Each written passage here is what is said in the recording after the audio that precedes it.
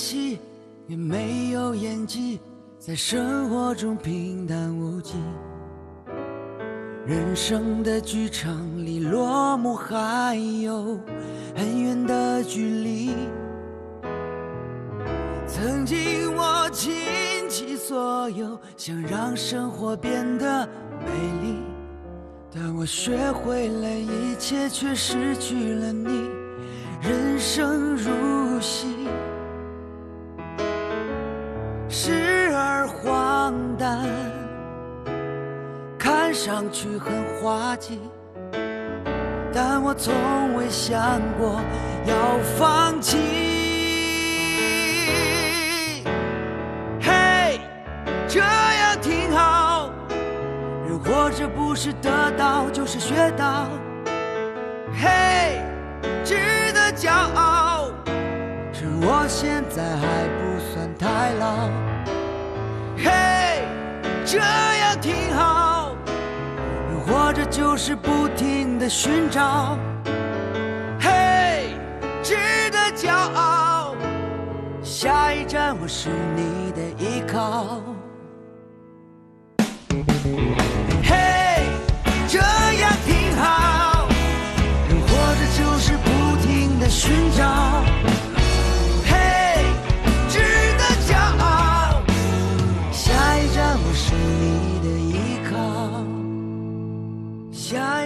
我是你的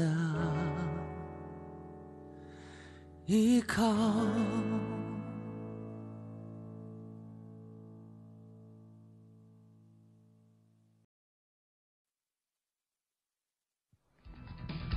第五个号十，怎么样？这回中了吗？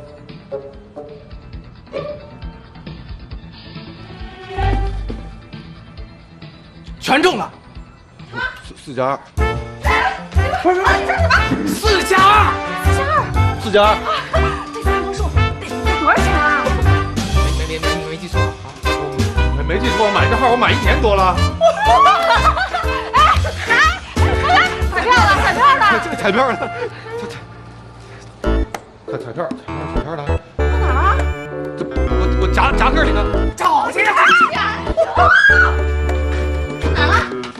找不知道找找找那个咖咖啡色的夹克。咖啡色的夹克是吧？没有啊，你到底放哪了呀？陶娟陶娟，我衣裳呢？陶娟，查了查了查了，四十二，是吧？是是吧？啊？这么多数还是啊？不是我我我我我其实我昨昨天还穿着呢。哎呀，到底放哪了？别别着急，想想啊，行。我给披露晴身上了。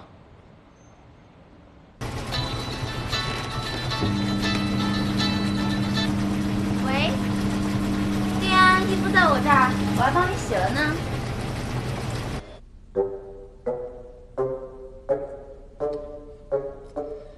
什么洗衣机怎么洗的呀？我这要不然我们跟兑彩票的人说说，我们可以给你证明是你买了。啊，对对对，我们去那儿看看，说不定都录下来了。梦呢？人家都说了，彩票，彩票是唯一凭证，不是彩票球。那怎么办呀？你可真行哈，陆晴女士。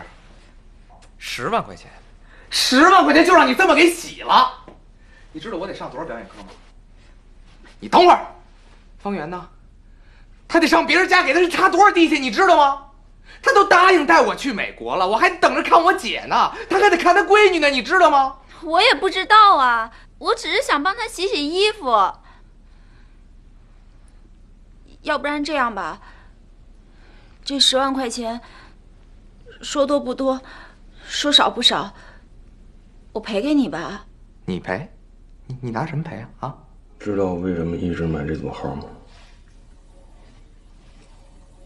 这是我闺女的出生年月日，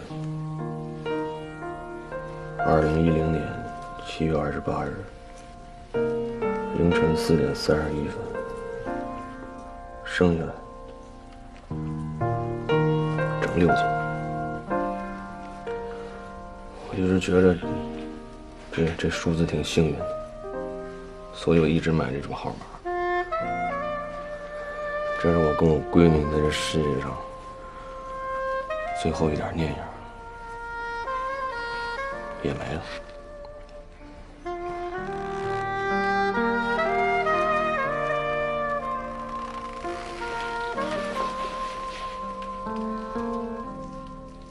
我真的不知道，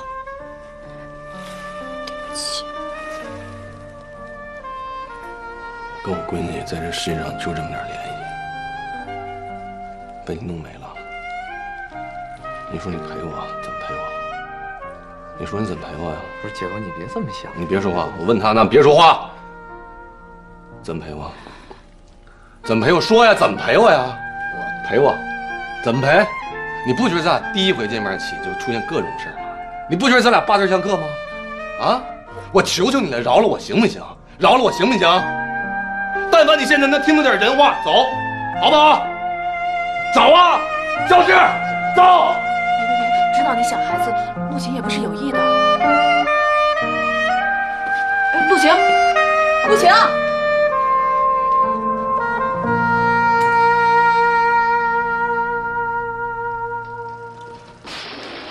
那事已经过去了啊！这你再不理，人家真就没戏唱了，你知道吗？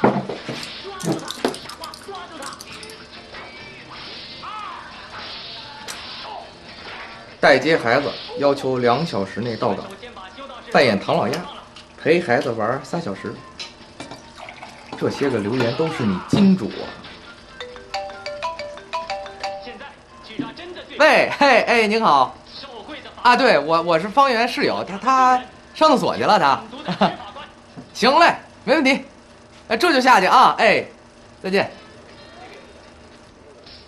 谁让你接我电话的？孩子要认我当爹，我现在就去。你也挺大一人了，能不让人孩子失望吗？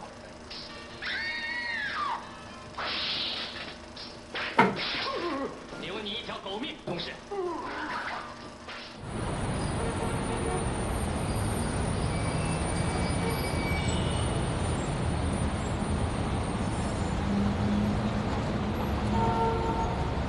打电话怎么不接呢？没听见。打了那么多都没听见啊！也不准时去嘉里广场，不想干了？想干。衣服呢？换。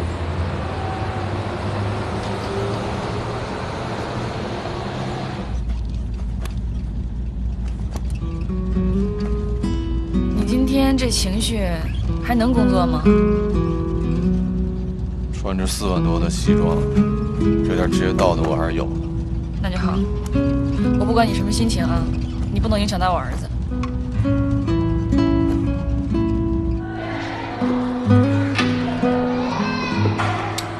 想我了吗？想啊，心里不喜欢吗？喜欢，谢谢方圆。说谢谢爸爸。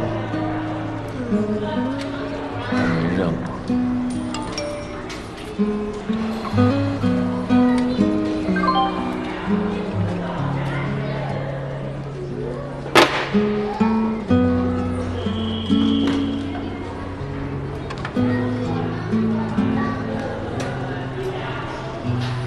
端饭去。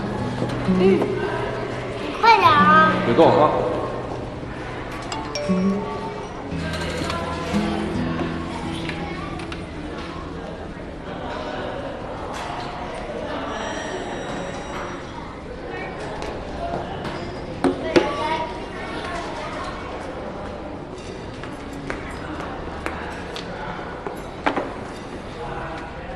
丹尼尔吃饭了。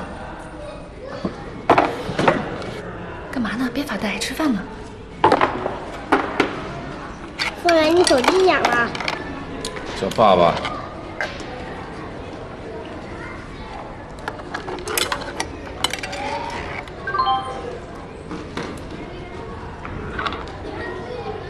算我欠你的，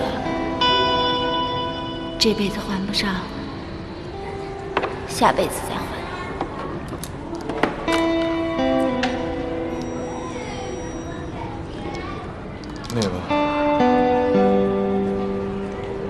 有急事，我得先走一趟。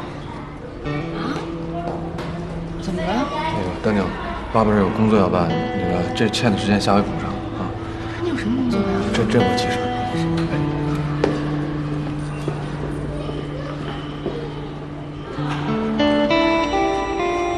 丹宁，咱不生气。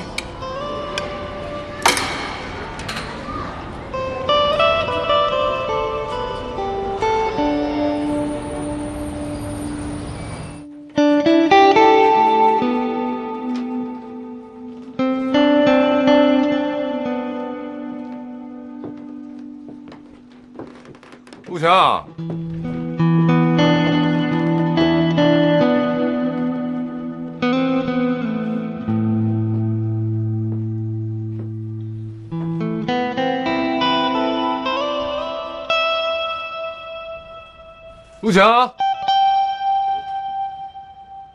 你别跟我闹啊，陆晴！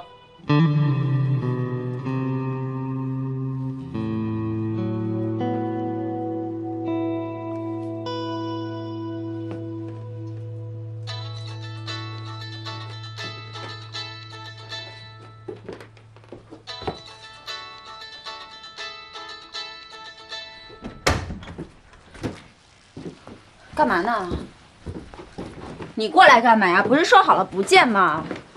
不是你在来网上给我发信息，我怕你又出什么意外呢。什么信息啊？不是你说的吗？算我欠你的，这辈子还不上，下辈子还。谁告诉你我是这样的语气啊？我是这么说的，算我欠你的，这辈子我还不上，我下辈子再还你，明白吗？那你怎么不发语音呢？懒得跟你讲话，道歉又不理，说话还那么重，越想我越气。哎，我说方圆，你怎么就以为自己那么重要啊？我会为了你想不开？我命没有那么不值钱。这是谁呀、你们家谁出事了？说到你认识吗？这空的还是实的呀？你不是给自己准备的吧？我打开你看看。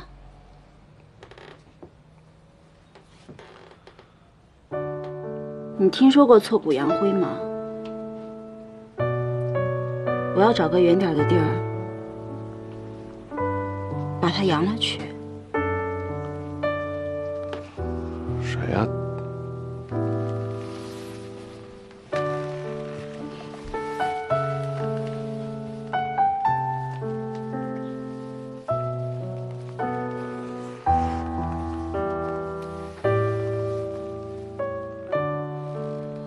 是我未婚夫，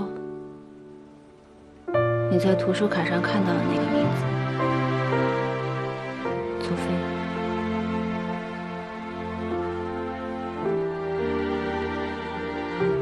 距我们婚礼还有四十二天，他出的事。我到了医院，最后一面都没见上。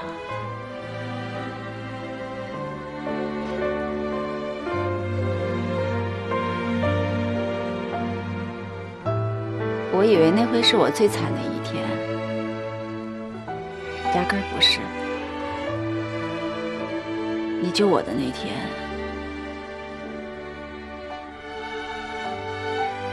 我正要开车去骨灰堂取骨灰。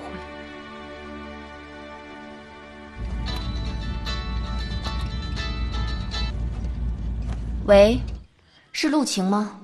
我是。你好，我是小文。我想拜托你把周辉的骨灰还给我。你是谁？他之前说过，他不想被埋在地下，他想撒在海里。你怎么会知道？其实出事那天，我跟他在一辆车上，我们当时正要去找你，准备跟你摊牌。周飞他根本就没有想要跟你结婚。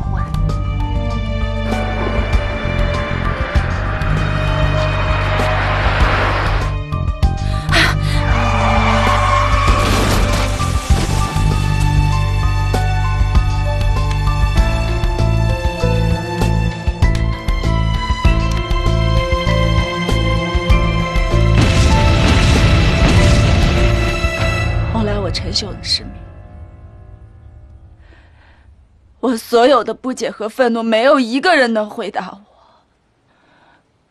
我。我只有每天，每天把自己给喝懵了。那天你说我卧轨，我不相信。我怎么可能为了这种人渣殉情呢？说句不好听的，该感谢这个电话，它给了你一次放手的机会。如果两个真是相爱的人结婚前出现这种事儿，我估计你这辈子都走不出来。但现在不一样了，你现在就是有点混乱，但早晚都会放下来的。你要谢谢他，放了你。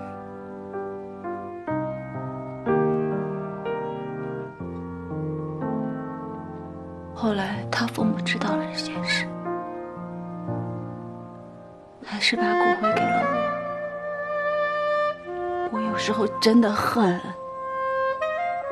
我想拿马桶把它冲了。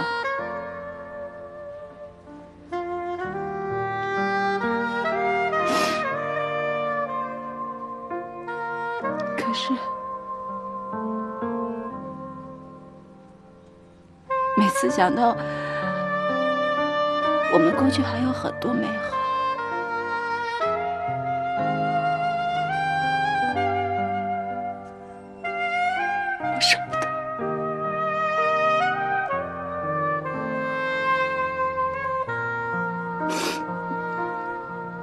真的不想再这样下去了，我想有个了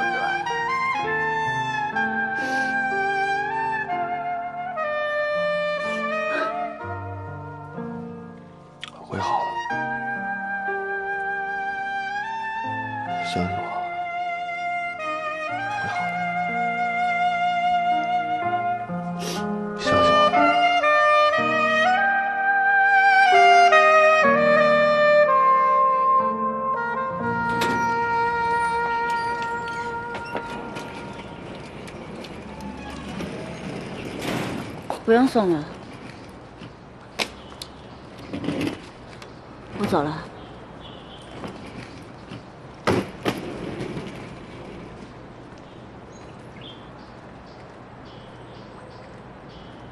以后别穿成这样，特矫情。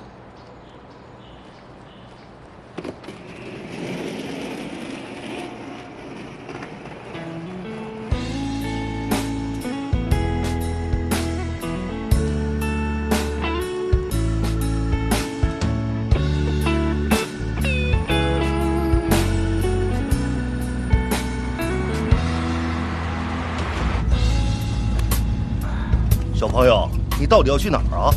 机场，去机场啊？就你一个人？你家大人呢？叔叔，你能不能把你的电话给我用一下呀？我们打个电话。好吧。谢谢叔叔。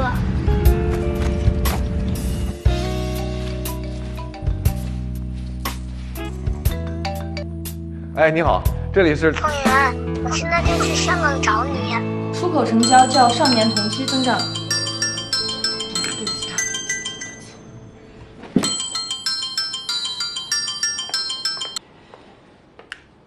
李老师，怎么了？啊，是高兴的妈妈吗？对。啊，那个你赶紧来一趟学校吧，高兴不见了。啊？不见了？去哪儿了？他就留了张纸条，说我要去找爸爸了。找爸爸？他说他找爸爸。哎呦，行，我马上过来。行。出什么事了？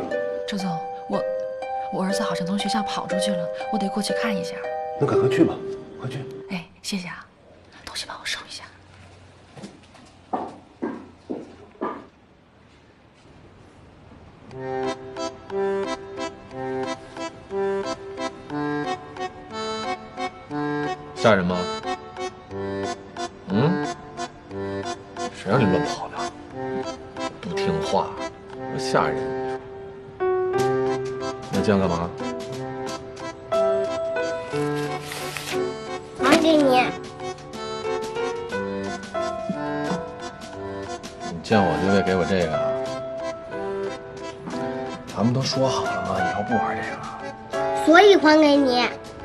哎，生气了你？你手机呢？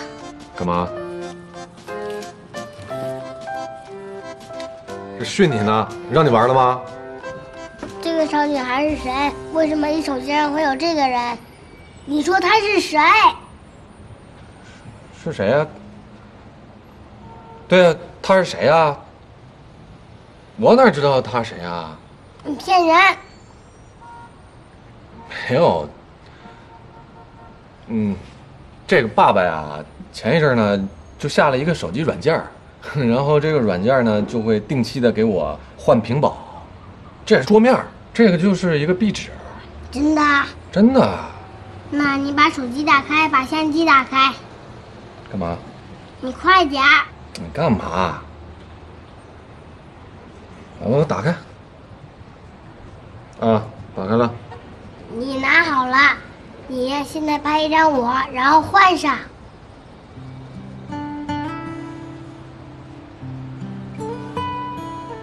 你去香港就为了换张照片啊？你快点给我照！照照，那你笑笑啊？哼哼，来笑大点好嘞，换一张啊，行了吧？乐一个，逗你。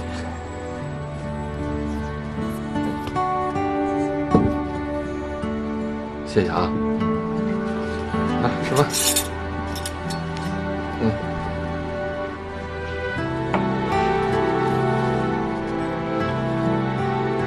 哎，想好了吗？反正我不爱上学，我就跟他说我不想上学。这小朋友你不上学你干嘛？他这个周末又没来接我，那他干嘛了？每个月他都有一个周末要忙，没时间来接我。那不回家多好啊！别让大人管着多舒服啊！我像你这么大的时候，我天天就在学校跟小朋友玩。你在学校有朋友吗？没几个，还是没有啊？这儿不行啊！我不知道怎么交朋友，不知道跟他们说什么。那你问爸爸呀。这个很简单，你呀，你从你妈就多要点零花钱，然后一到那个放学啊、下课呀、你就多买点小食品呐、小果汁啊什么的，给小朋友们发一发。就小朋友的友谊都是从食杂店开始建立的，要不然，要要不然你就，嗯，你就互相传传纸条啊，抄抄作业什么的，这是交朋友的第一步，知道吗？可是我妈都不让我干这些。别听你妈的，你妈就孤僻。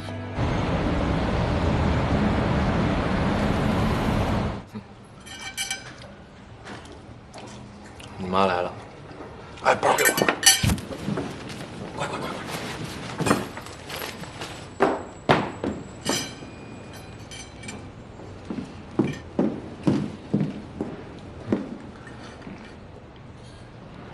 丹宁，怎么回事？你怎么逃课呢？就是啊，那个我刚教育完，还有你，还没说你呢，你怎么不第一时间通知我呀？咱们怎么说的来着？你生什么气啊？当着孩子面呢。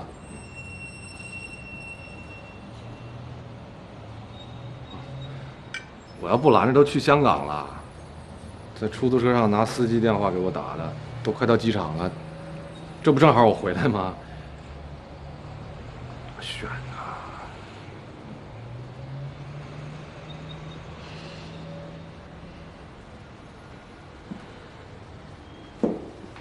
啊！丹宁，你给我说说，你要干什么去啊？妈妈跟你说过多少次了，这社会上多危险呀！你要是出点什么问题，妈妈怎么办呀？啊，你怎么答应我的？妈妈每天工作多辛苦啊，是不是？你让我省点心行不行？嗯，我就是想你们了嘛？我都教育过了，这孩子也认错了。佳宁，你看着我，你得给我保证，以后永远不逃课。你说，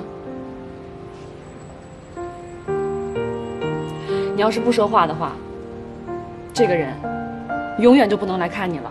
我保证，我保证，我以后再也不逃学了。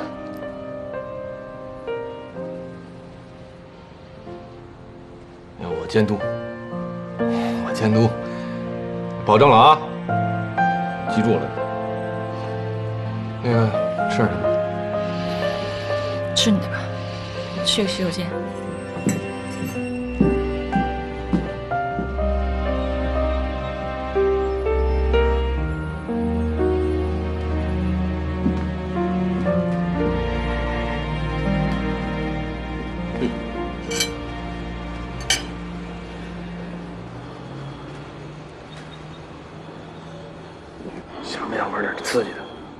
什么刺激的？你吃过霸王餐吗？没有，什么是霸王餐呢？霸王餐就是咱们随便吃，吃完以后不给钱，撒腿就跑。嗯。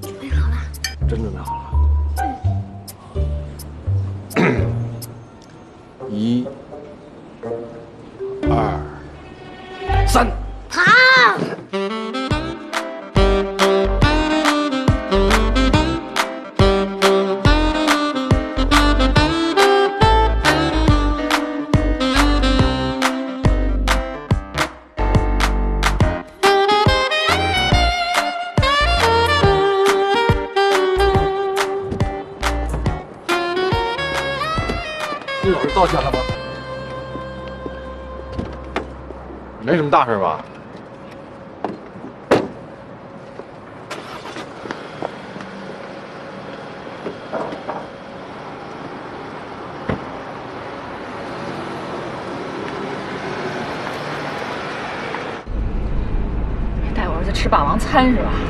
你凭什么带我儿子干这种事儿啊？你有什么资格呀？不是哪种事儿？方圆，我告诉你啊，你知道我为什么辛辛苦苦的供我儿子上这种贵族学校吗？我就是想让我的孩子享受最好的教育、最好的资源，所以你没有任何资格擅自做主张干这种事儿。你已经给我的儿子造成很坏的影响了。高姐，你听我解释行吗你？解释什么呀？你解释？你别给我解释了。哎，我再问你啊，你彩票怎么回事啊？啊？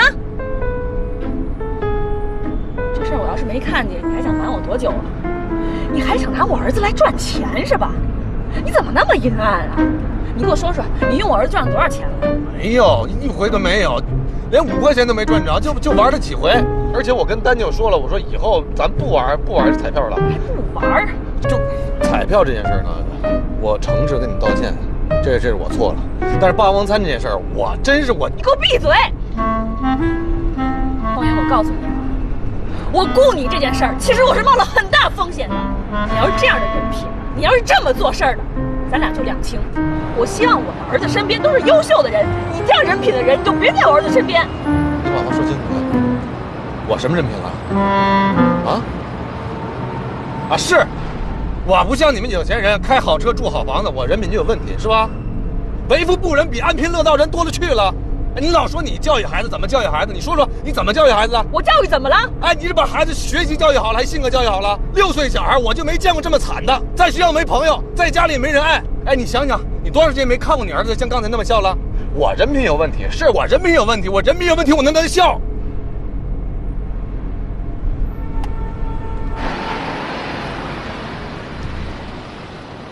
给我下车！下车！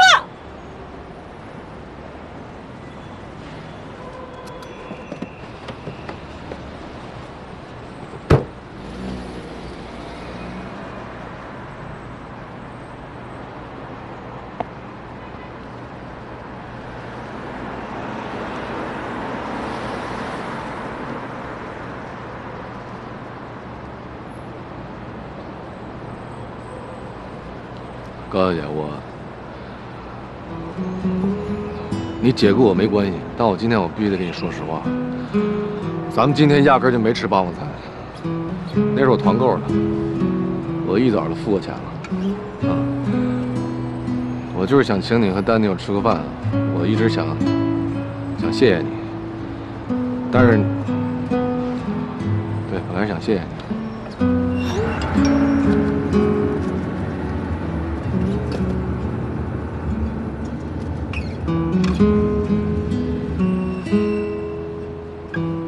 其实今天你来之前，丹尼尔跟我说挺多话的。孩子吧，就是不开心。然后我就脑门子一热，我就想出这么一个办法，就是想让他快乐快乐，没什么恶意。其实吧，像你们家这种情况，本来就少一门，所以我觉着有的时候吧，适当的多拿出一些时间来陪陪孩子，别老一到下班就不接孩子。这钱这东西挣多少是多呀，而且。好多事情不是拿钱能衡量的。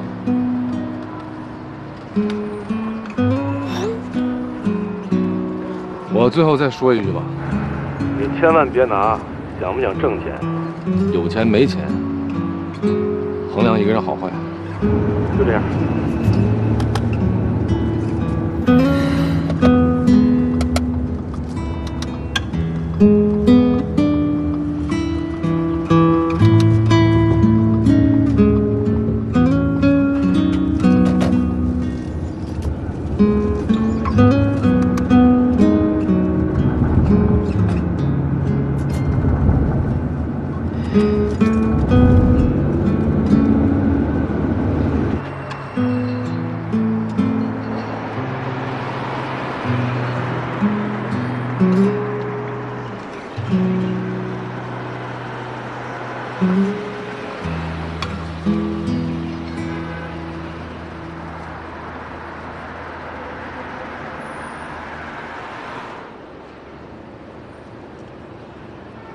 上车吧。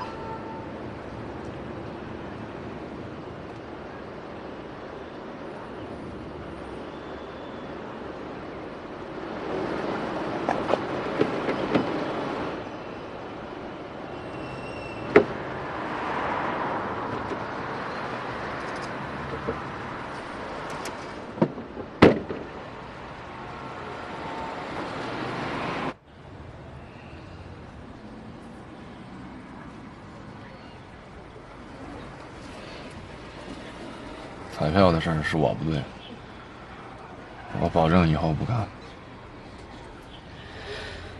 你的保证算数吧？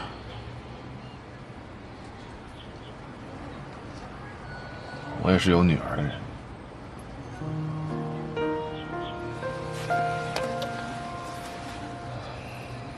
我之前用这照片做屏保来着。嗯，丹尼就是看这照片才逃下来找我看见你女儿了？啊，被我圆过去了。现在屏保换成她了。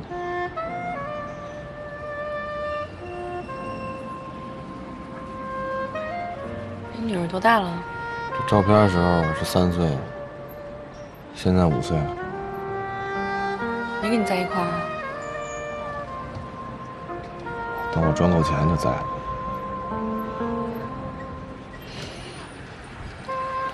以后别再露馅了啊！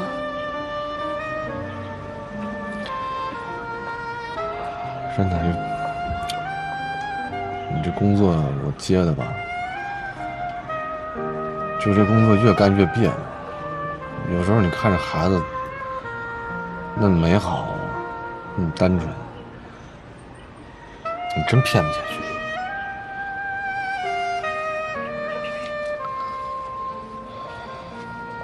你说咱俩大人骗上一个孩子，这对吗？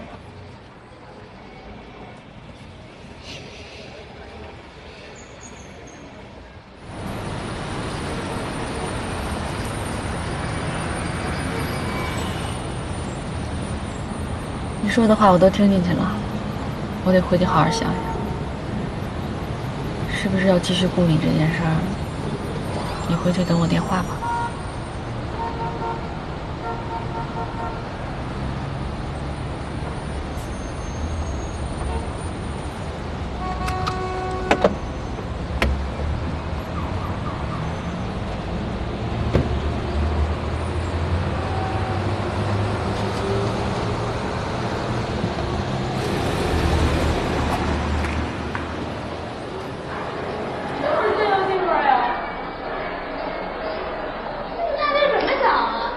说，你就是欠，活生生把自个儿最后一根稻草掐断了。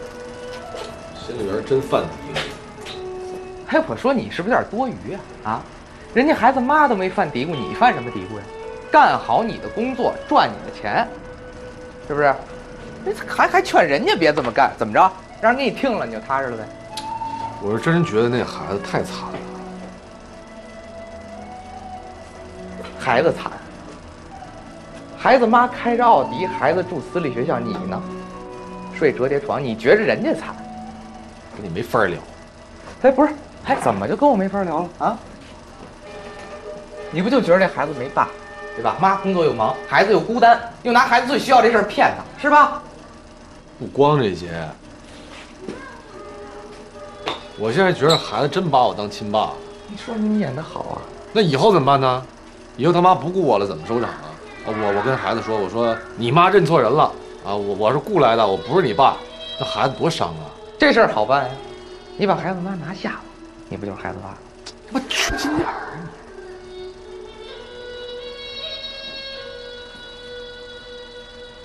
啊！我跟你说啊，你现在干的这工作，跟路边摊煎饼、理发馆给人剃头、四 S 店修车一道理，花钱买服务，别把个人色彩往里添啊！添个人色彩对谁都没好处。好自为之。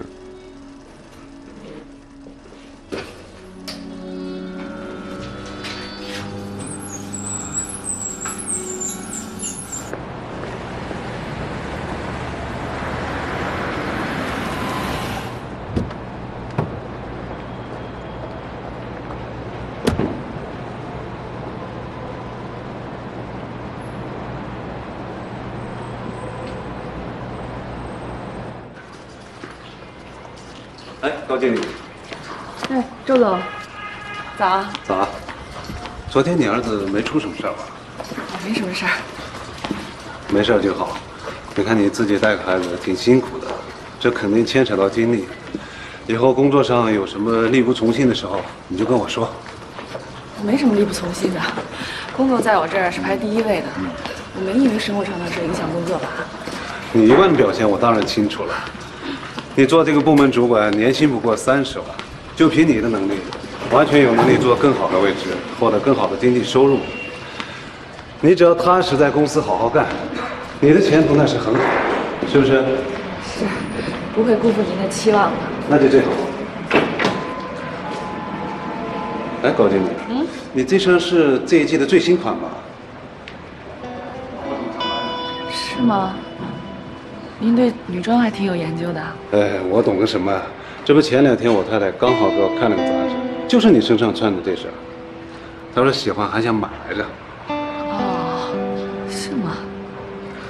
对啊，我还特意陪她在商场转了转，这套可不便宜啊，三万上下吧，都超过你一个月工资了嘛。这女人就是舍得在美上花钱哈。看来啊，以后我得多注意注意我们高经理的穿着，这不显山不露水的都是大牌真不知道这是什么牌儿，这是一个朋友送的，这么贵呢，都不知道。肯定是男朋友送的。没有没有，哪有什么男朋友啊？对了，昨天听你电话里说孩子去找他爸爸了，那就是高兴的爸爸送的。不不是不是，呃，算是算是吧。这有什么不好承认的？毕竟你还这么年轻，这遇到合适的，该往前走一步还是要走的，对吧？对对，是我这心里有打算。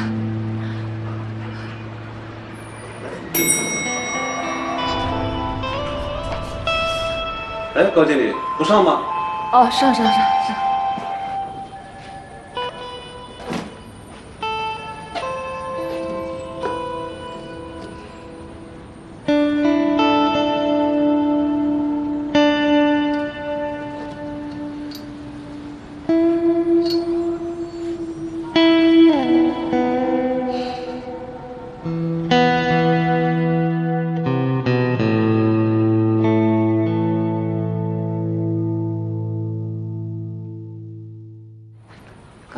下个月的出差计划表，刚做好的，周总特意交代我给您送过来。哎，香港？哎，我不是一直都去北京的吗？这是周总特意交代的，以后出差您都去香港。为什么呀？当然是照顾您了。周总说了，这是方便您探亲。我探什么亲啊？您还不好意思承认，丹妮儿的爸爸不是在那儿吗？周总这么向着您，连探亲的机票都给省了。您赶紧签字确认，我让他们去给您订机票。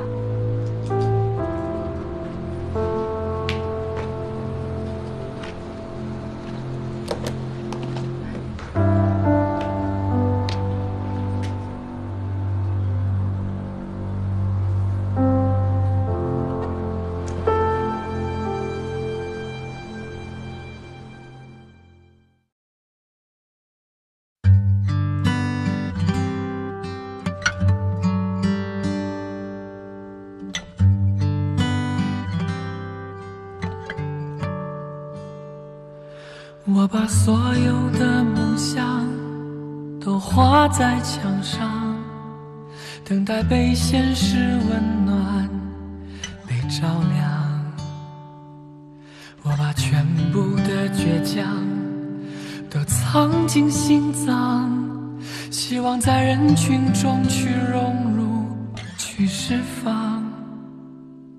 我把所有的希望。放在他身上，祈祷在寒冷黑夜能给我力量。我把命运的摇晃都当作奖赏，依然在路上。你说我是你的白你找回曾经的温存，从被忽略、被遗忘、被捉弄的世界找回一切。你说我是你